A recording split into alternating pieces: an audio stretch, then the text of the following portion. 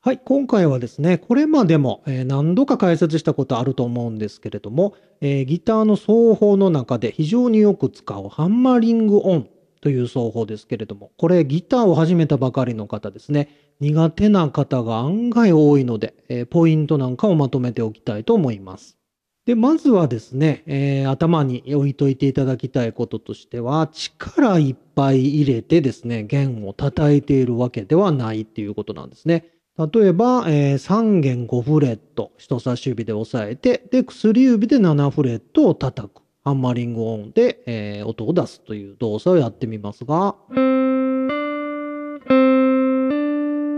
このような感じで力いっぱいですね、上からこう振りかぶってバーンと叩きつけている感じではないんですね。このことをまずは頭に入れてください。で、後で後半部分でですね、左手アップにして、えー、指の動きなんかを解説してみたいと思います。で、まずですね、えー、よく生徒さんにも最初言うのは、えー、指先で弦を叩くということですね。これ、えー、これもアップに後でした時に解説しますが、え指をこう伸ばした状態でですね、え弦を押さえることってあまりないんですね。ですから左手のこの指の形っていうのは基本このような感じで曲げて、え押さえる。で、曲げて指先で押さえるということです。ですからこれ指が伸びた状態ではなかなか指先で弦を捉えることができませんよね。で、あとですね、もう一つ、えー、重要なポイントは、毎回ですね、こう正確な位置を叩くということです。これ最初のうちは左手のホームが固まらないので、例えば1弦の7フレットをこう薬指で叩きたいのに2弦をパンと叩いてしまったり、2弦と1弦同時に叩いてしまったり、っていうことがあります。から、指先で正確な位置を叩くということがまず大事ということを頭に入れてください。ですから、ハンマリングが上手くなるというのは、毎回指先で正確な位置を叩けるようになることですね。それができれば、ほとんど最終的には力は必要なくなります。で、毎回ですね、指先で正確な位置、えー、弦を叩くっていうことはですね、安定した、えー、動きになるような左手のフォームっていうのが必要になります。で、しっかりしたフォームを手に入れるには、えー、当然時間が、え、かかりますけれども、それまでに注意することは、フォームをいろいろ変化させてこう試すときにですね、左腕全体が自由に動かせる、この左手の周辺の環境を整えてやるっていうことですね。で、そのためにはギターを持つ姿勢であったり、ギターを置く位置が非常に重要になります。で、えー、私もよくですね、生徒さんに言うのは、この特にですね、左手のこの肘の部分、この部分っていうのが、えー、最初ですね、こう普通にギターを構えた時に、どうしてもこの肘の動きが、この辺りの、えー、空間ですね、この辺りが非常に窮屈になっていて、こう肘が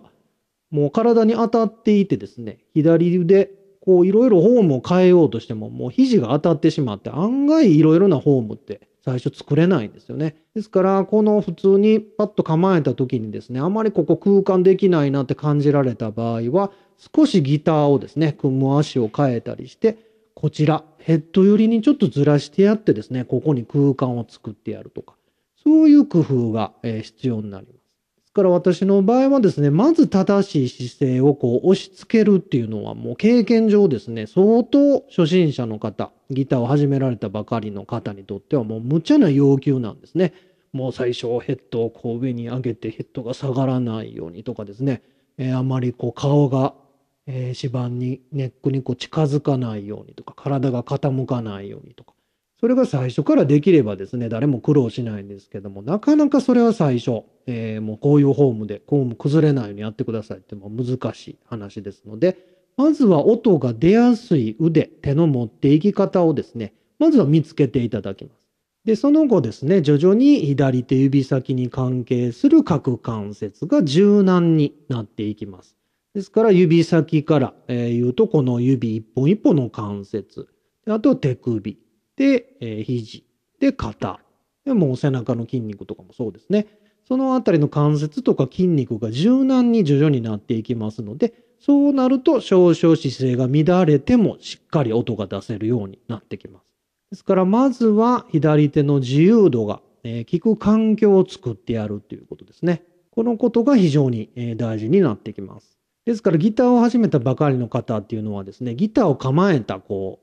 構えた時の姿を見るだけで何かこう様になっていないような感じっていうのがもう見るだけでわかりますよね。やはりそれはギターを弾くために必要なこう方向に、えー、各関節の、えー、曲げですね。曲げが、えー、柔軟でないからなんですね。から何か持っていってもこう肩に力が入っていたりですね、うまく、えー、手首が曲がっていなかったり。ですからもうそうなると何か持たされてるような感じで、えー、見えますよね。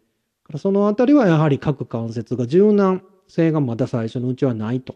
いうか、まあ体が柔らかい方でもこうギターを弾くためにこう、えー、合う、マッチするフォームっていうのが、なかなか日常生活で同じような、え、形を取る、フォームを取ることってないですので、やはり、え、ある程度体が柔軟な方でもですね、最初はギターを弾くときに持っていくこの腕の持っていき方っていうのを苦労される方が、えー、多いですね。では後半ですね、左手、アップにしながら、解説してみたいと思います。ではまずですね、5フレット、5、6、7、8フレットを使って1弦から6弦まで、実際にハンマリングですね、やってみますので、どういう感じで指が動いているのか、見てみてください。こんな感じです。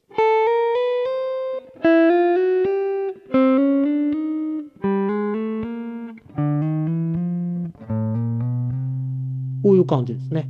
もう叩きつけてるようなイメージっていうのは感じないと思うんですけれども、いかがでしょうかね。何かこう弾いて叩くときにこう振りかぶってバーンと叩きつけてるようなイメージじゃないですよね。こういう感じだからあらかじめ押さえるフレットの上に指をなるべく先に持っていっておいて上からこう指を置いていってる感じになります。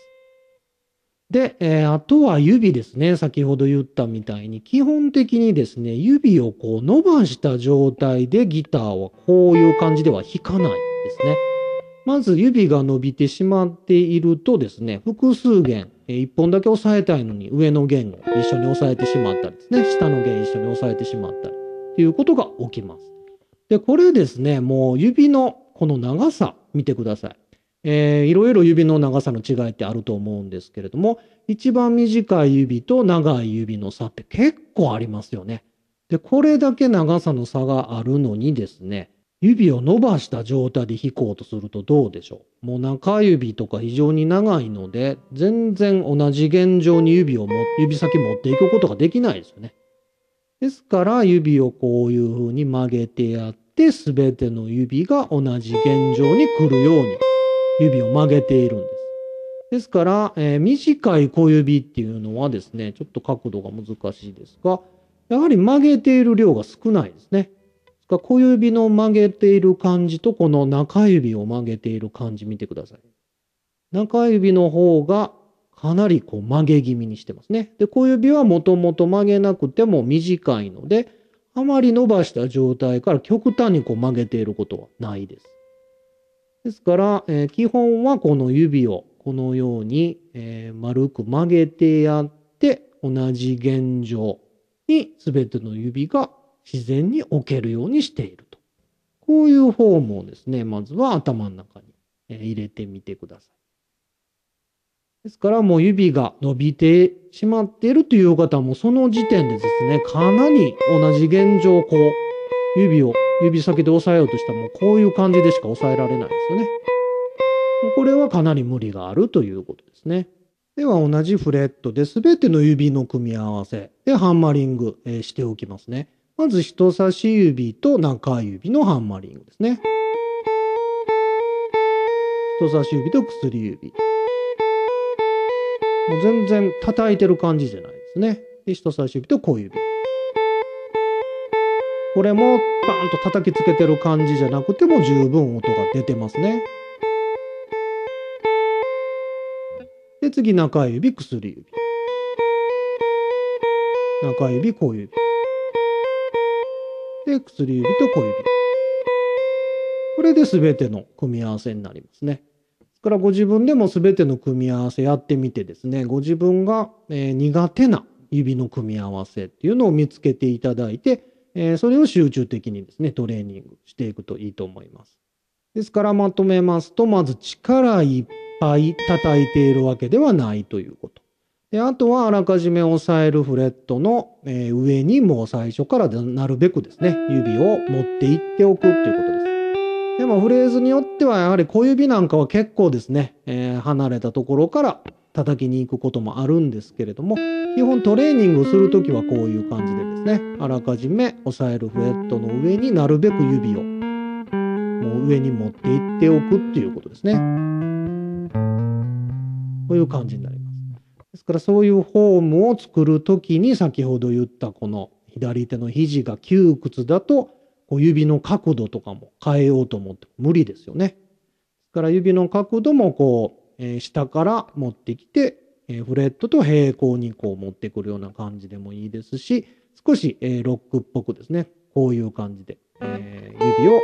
斜めから持ってきてもいいですね。から私も、えー、フレーズによっては、からこれまでの動画でも何回か言ったことあると思うんですけれども、私の場合は人差し指のこの付け根の部分をですね、ネックの下のサイドのところにパッと当てて、で、えー、左手全体安定させた状態で、こうハンマリングとかも弾く場合結構あります。でもこれはフレーズによっては、えー、当てずにですね、このような感じで、えー、クラシックスタイルのような感じですね。このフォームで弾く場合もありますので、どちらのフォームが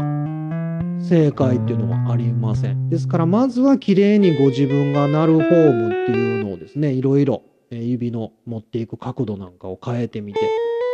えー、いろいろこう試してみてください。で、ご自分に合うフォーム、えー、綺麗に音が鳴るフォームっていうのをまずは見つけてみてください。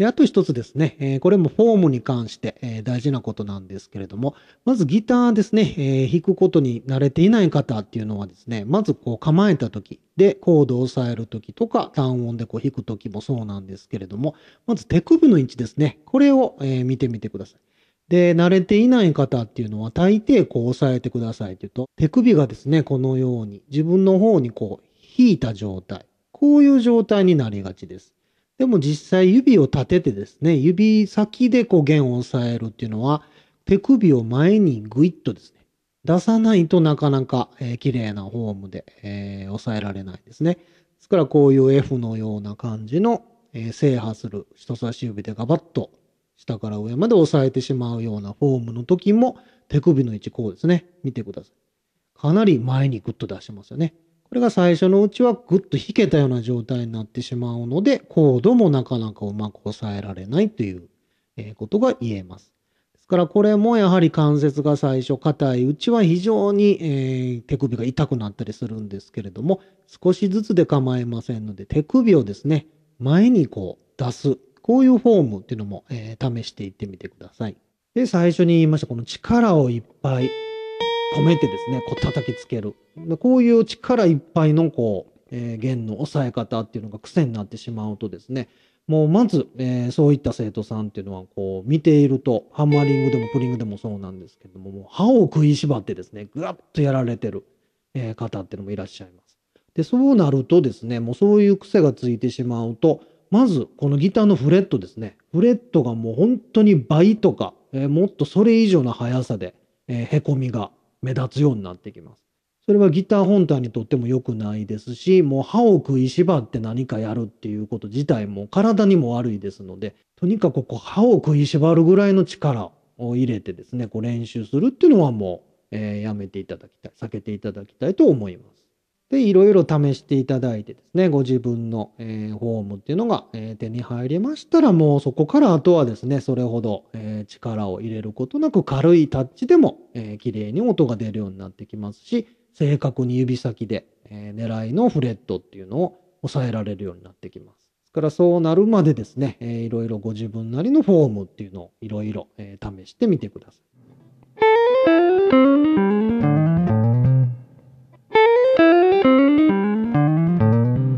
上で解説を終了いたします。この度はご視聴いただきまして誠にありがとうございました。